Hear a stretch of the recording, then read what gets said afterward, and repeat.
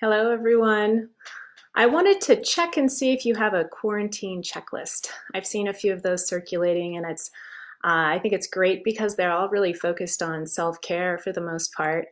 Uh, I mean, some of them are all, you know, getting out of my sweatpants for the day or getting dressed, uh, which, you know, is important positivity. But it's just, it's all focused on self-care and really what you do um, for your diet and lifestyle really does matter right now uh, with what's going on. So I was just wondering if anyone wanted to share, or uh, I was going to share a little bit about some of the things that I like to do um, that, or I try to keep on my quarantine checklist. And at the top of that is uh, practicing gratitude. I know that uh, there's been a lot of fear and anxiety feelings of uh, apprehension about this that's happening in this ever changing and um, kind of unprecedented situation that we're in, and uh, and we know that gratitude really helps so much with fear. Um, it changes your perspective. It's really hard to focus on positive and negative information at the same time. So, uh, you know, that's uh, something that uh, I've done, and uh, you know, and also trying to be a role model at home uh, for my kids you know, I've had some parenting fails for sure, but uh, you know, if you can focus on gratitude, it's it's really uh, transformational to see how that can um, very quickly change your perspective and reduce feelings of anxiety and fear, and uh, and make you really focus on what matters and what feels good to you.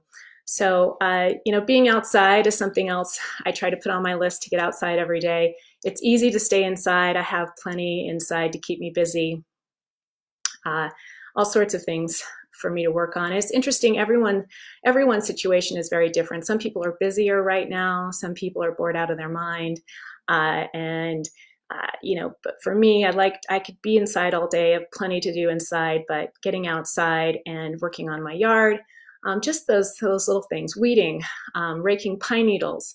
Uh, checking on my bees that gives me a lot of gratitude but also, you know, I have roses that have needed my attention for a few years and uh, tending to the garden, tending to my roses is something I try to do if not only maybe just for a few minutes. And if you can get a little sun, if the sun's shining, um, I try to go out there when there's some sun and and show some skin just a little bit and uh, get a little bit of good vitamin D uh, through the skin if we can, if the, if the sun's strong enough. Uh, connecting with family, we all hear how important that is. And, uh, you know, I like to just walk really to the end of the block or down the street with my kids. Uh, that's a really nice, quiet moment. They share sometimes, uh, you know, unsolicited sharing about what's going on with them and what they're going through. This is um, really a, a different uh, time for them. And it'll be interesting, you know, years down the road for them to reflect on really some of the challenges this is posing for them but connecting with family, my in-laws live in New York City, and it's been um, helpful for us. I think helpful for them too to connect through Zoom. Um, very thankful for being able to do that. We of course talk about the social distancing, but the connections and just calling. Um, I know my my grandmother, who's 97, is in quarantine in a um, uh, you know a, a home health or a uh, uh, a care center and she's quarantined to her room. So if I call, sometimes I have to call six times, but I get through to her and, and it's really nice to, um, to be able to make that connection. Uh, another thing that I do is try to sweat every day. There are a lot of different ways to sweat. If you have, you're lucky enough to have a sauna at home um, to do that.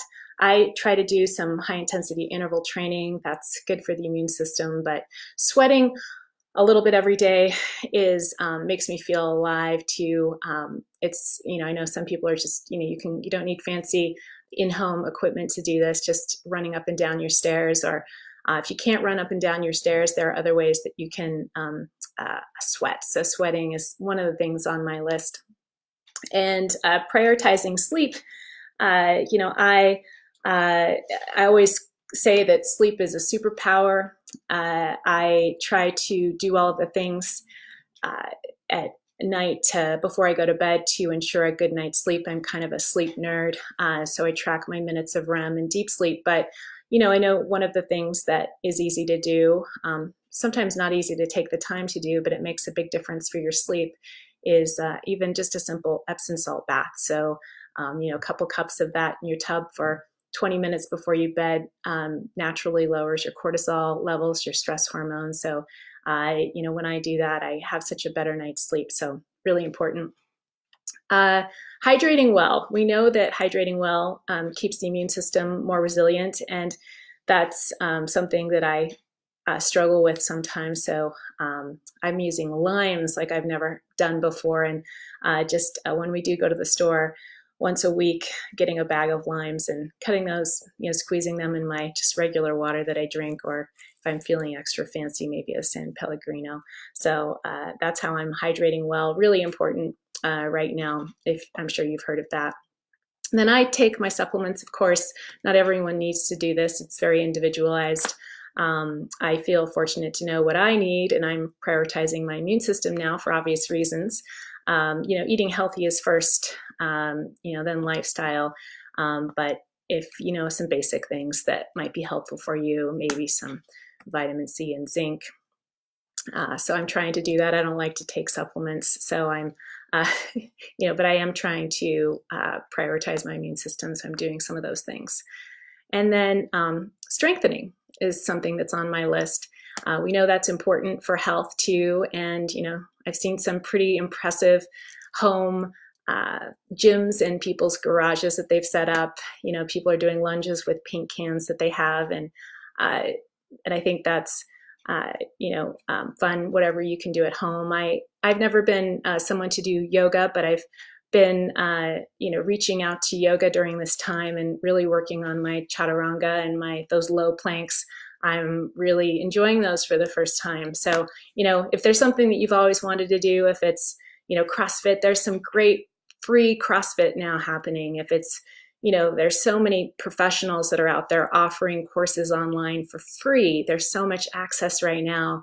Um, uh, on the internet that's available and some of the some people are just offering them for this short period of time so it's a great opportunity to to find something or do something you've been thinking of you know if that's uh, some tai chi qigong um, locally there's some fantastic resources i know um, uh, embodiment matters uh, is one they have they've been doing online for a really long time carl rabke and erin geesaman rabke uh, there's some online, of course, they don't have to be local. There's people all over the world, and that's kind of fun to connect because we're we're all in this together.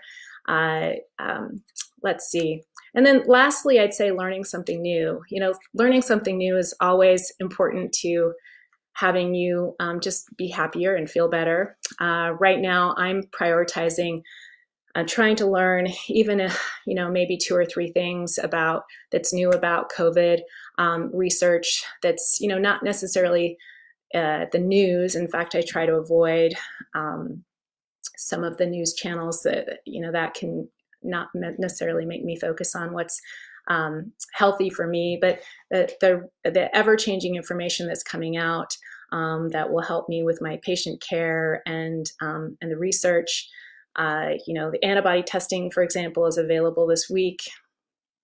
And, uh, you know, just every day it seems like there's new information. And it's really coming at us. It, I feel overwhelmed. It's coming at me through a fire hose. And so I try to, um, you know, maybe just spend a little bit of time on that every day, maybe two or three articles um, you know, I have some great resources um, for my professional community and uh, and um, just trying to get that information. So uh, I know some people are, you know, I have a friend who's learning Japanese calligraphy right now, and uh, you know, my husband's trying to improve his piano skills. So learning something new, I think, is this is a great opportunity to do that. So I'd be interested in knowing if you want to drop your comment on what you know is on your quarantine checklist. I think it's great um, to prioritize self care right now.